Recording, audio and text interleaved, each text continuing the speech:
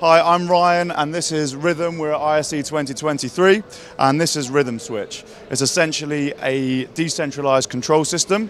So we have uh, it replaces a lighting keypad or a standard light switch. Can be powered via 12 to 30 volts DC or 100 to 240 volts AC.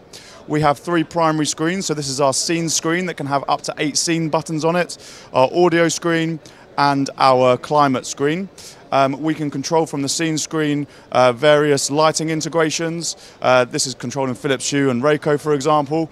It's super responsive, so as soon as we press a scene, uh, the, the bulb changes. Um, we pull the scenes from the third-party system, so the configuration is really super easy and done on the screen.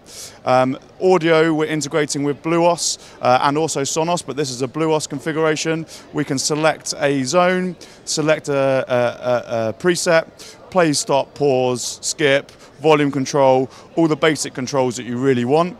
Uh, super responsive, and then we also have an inbuilt thermostat. So it has a temperature sensor in the bottom of the device we uh, simply navigate to the uh, climate control screen and this is switching actually a relay within Philips Hue that could be connected to a boiler or a heating zone but that could also be a relay in Rayco or Lutron, any of our other lighting integrations uh, just to turn uh, call for heat and turn a heating zone on or off. And we also have a seven day scheduler. So we can come in here we can uh, adjust a time point we can remove a time point um, we can add a new time point, select what time we want, what temperature, and then we can copy and paste between days. Super easy for the end user to set up.